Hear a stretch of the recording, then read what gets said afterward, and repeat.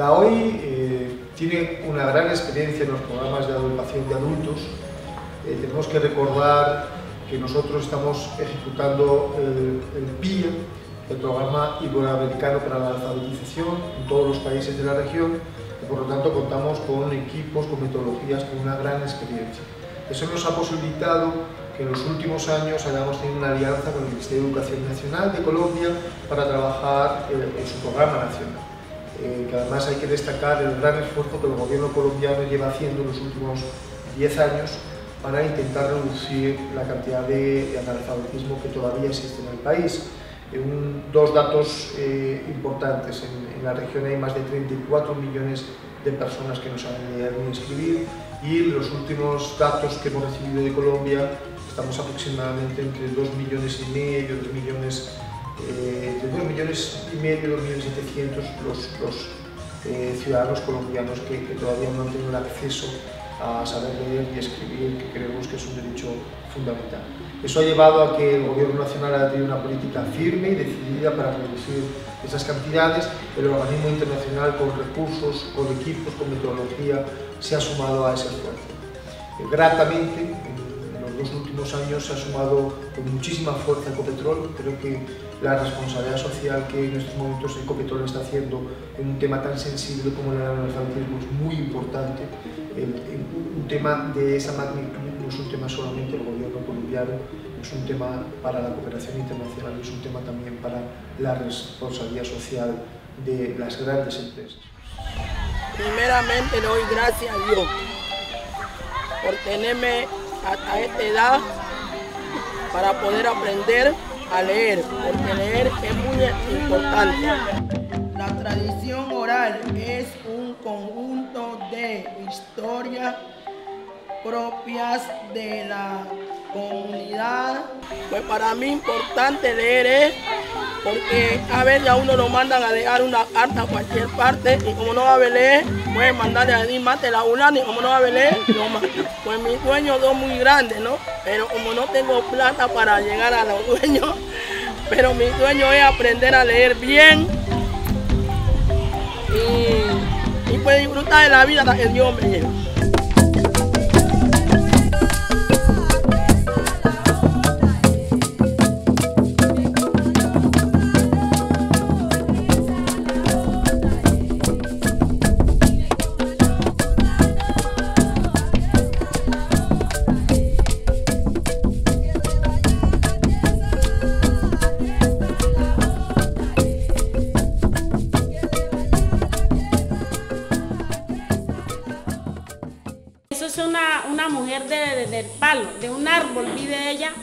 Y ella nunca sale a la sabana sino solamente en, en, en, los árboles, en el monte vive ella y la mecedora de ella es un bejuco. Esas son historias que nos contaban nuestros abuelos, lo que aprendemos nosotros y nosotros estamos también enseñando a nuestros nietos, porque yo también soy una abuela ya.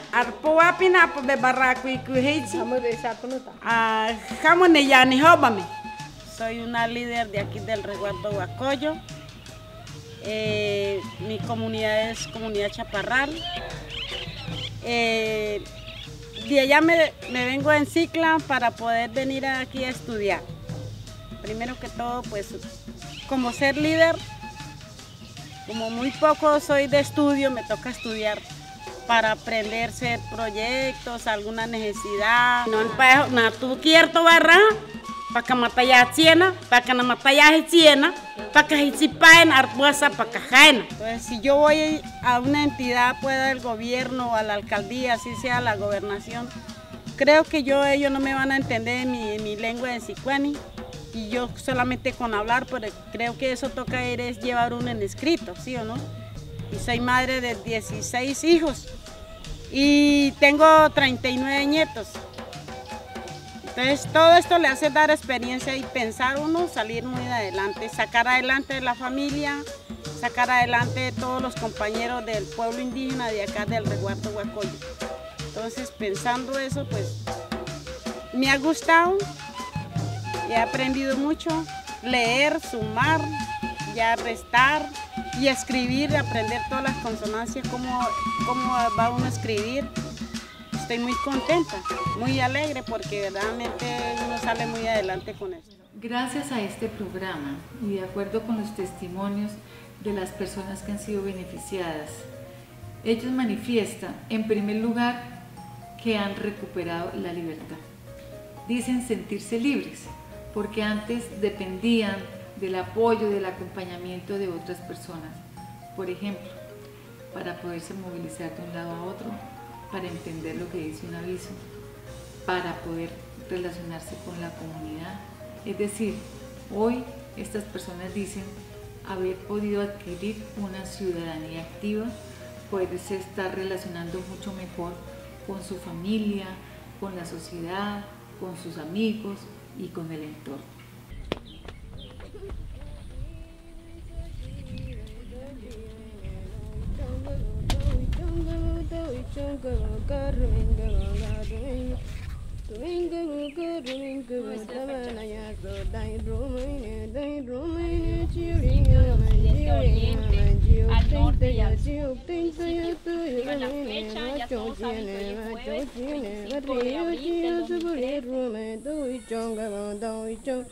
Good ring, good ring, good ring, good ring. Dai romine dai romine chiuri al norte y al sur. Pero la fecha ya todos saben que hoy es jueves 25 de abril del 2013. Domingo go domingo dai Nene kai tu chi we za chi me za chi me kuno ni chi yo Eulalia pasa el tablero para que hagámosla sin miedo, mano.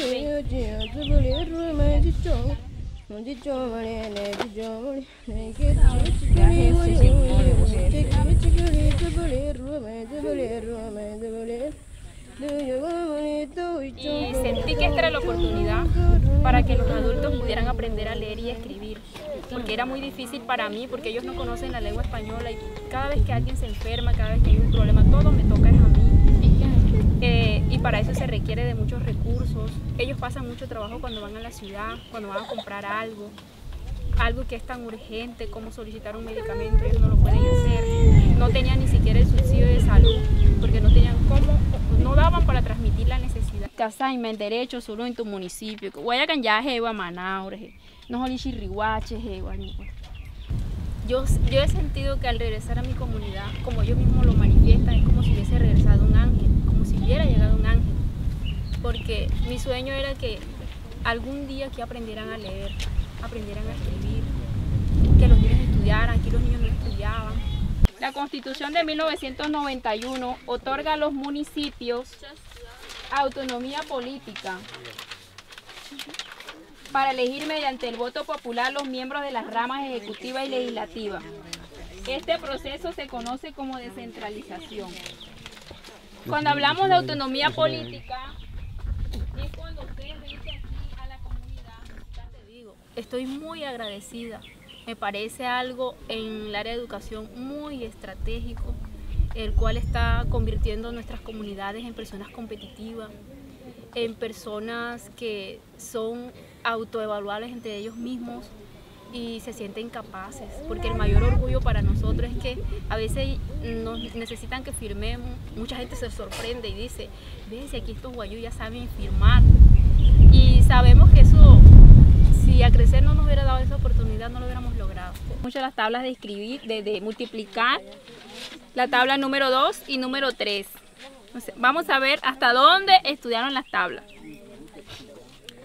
Hoy estamos aquí porque el 25 de agosto del año 2011, cuando, cuando Ecopetrol cumplió 60 años, Ecopetrol tomó una decisión de hacerle un regalo a todos los lugares en donde nosotros operamos. Y mirando lo que son nuestras prioridades a nivel de la inversión social de los programas que desarrollamos con las comunidades, y entendiendo que nuestra primera prioridad es la educación y la cultura, con motivo de esos 60 años que Ecopetrol cumplió el 25 de agosto, dijimos, vamos a contribuir para que se puedan alfabetizar 60 mil colombianos mayores de 15 años. Y para llevar a cabo esta iniciativa, algo muy importante, encontramos unos aliados muy poderosos. Y esos aliados son precisamente ministra de Educación que tiene la meta de alfabetizar a 600 mil colombianos y estamos contribuyendo nosotros con un 10% de esa meta y también con la Organización de Estados Americanos. Entonces, claramente nos sentimos muy satisfechos de que ese construir en las regiones en donde nosotros estamos, en unas claramente urbanizadas y desarrolladas como Cúcuta, pero también en los lugares más alejados y menos desarrollados del país, estar contribuyendo con los programas de educación. Por otro lado, algo que nos hace muy contentos es que la metodología que se ha escogido, que es a crecer, fue una metodología que se desarrolló por parte de la Fundación Alcaraván, la cual está constituida por Oxy Ecopetrol en la región de Arauca y que hoy se hace uso de ella en muchas regiones de Colombia y que hemos compartido. Eh, me cambió mucho por la forma de hablar. Conocer las, las, lo que es eh, las mayúsculas, minúsculas, eh, muchísimas cosas. Y me parece tan lindo, tan lindo este programa, que porque en ese momento que entra uno a estudiar, mejor dicho, es una alegría inmensa porque, ¿por qué? Porque se acuerda uno cuando en su tiempo y juventud, de su niñez. Es hora de preguntarnos qué pasa cuando, cuando centenas de miles de personas no hacemos una buena adaptación al medio. Me parece muy chévere porque ella va avanzando año por año y va, y va pasando talante. Mis sueños es seguir estudiando, seguir estudiando. Bueno amigos, van a observar esas palabras que voy a escribir en el salón. ¿Qué les dice a ustedes?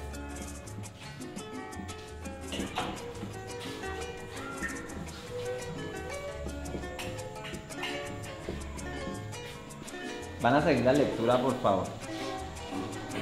Hay residuos útiles. No, no, ustedes lo van siguiendo ahí en la lectura. Hay residuos útiles, por ejemplo, para hacer abono orgánico y artesanías, para volver a emplear en la cocina o en la casa. Hay residuos tóxicos y peligrosos para la salud, como las pilas o los residuos de venenos químicos que envenenan el agua de los arroyos, las medicinas vencidas también pueden llegar a intoxicar o los plásticos cuando son tragados por los animales. Eh, yo soy madre de cabeza de familia, tengo cuatro niños y trabajo en una casa de una auditora, en casa de familia y en otra, en otra parte donde otra señora también trabajo. Entonces trabajo por la mañana y por la tarde y saco el, el espacio por la noche para venir a estudiar. Clasificar el tipo de residuos. Analizar el cuidado que debe tenerse con residuos peligrosos. Escribir, cantidades con decenas de mil. Pues que uno ya se puede con más facilidad desarrollar que en ayuda a las tareas de los niños, porque antes uno no sabía nada.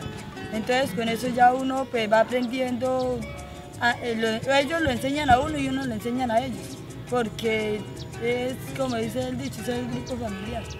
Mucha alegría porque yo sé que ella va a aprender y nos va a ayudar a nosotros.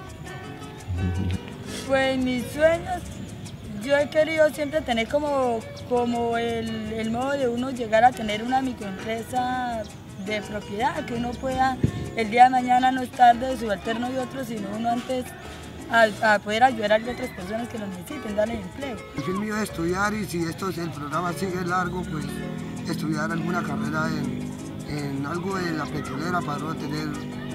Y ese es el fin mío, por eso pues me vine a trabajar, estoy trabajando aquí cerquita para toda la noche poder venir a, a estudiar. Decidimos realizar una alianza con Ecopetrol y con la OEI para avanzar en el desarrollo de nuestro Plan Nacional de Alfabetización. ¿Qué buscamos nosotros con este plan? Buscamos que no exista un solo joven, un solo adulto en nuestro país que sea iletrado. Eh, leer y escribir es fundamental en nuestra vida, ya que es mm, muy importante para que ellos al momento en que en cualquier lugar donde ellos se encuentren puedan eh, leer lo que, lo que encuentran y puedan ellos mismos por su por su capacidad enterarse de las cosas de que están pasando. Es muy gratificante eh, enseñar lo, que, lo poquito que uno sabe porque las personas adultas eh, tienen mucho conocimiento a pesar de que ellos no pueden leer y escribir, comparten muchas ideas, hemos aprendido de ellos como ellos han aprendido de nosotros. Aprendido bastante, he aprendido bastante porque me doy cuenta que he tenido una mente, una mente, he sido, he sido inteligente, pero por falta de mis, de mis, de mis, de lo que es lo económico, ¿no? De eso que se ha dado, de, de que he venido de una, de una familia muy pobre. Y ahora con este, con este programa Crecer me he dado cuenta que, que yo soy una persona inteligente. Y nosotros nos dicen por la fe que tenemos que es una aparición, dicen que es una pintura. En realidad nosotros no sabemos qué es, pero es algo muy hermoso y asombroso el lugar donde está construido. A mí me encanta estudiar, salir adelante, porque mi sueño era ese, ¿no? Porque el, estudio es lo más importante en la vida. Quiero que ojalá todas las personas que no tengan el estudio o no esa oportunidad, pues que sigan también acá. Y eso me hace más, ¿no? Para motivar a todas las personas que no es tarde para aprender, ¿sí? Para salir adelante. Cuando uno se propone, lo alcanza todo. Lo importante es no ser negativo en la vida, ser positivo y todo se puede, a pesar de, la, de los años que uno tiene, pero tiene que darles ejemplo a los nietos, a los hijos, para salir adelante.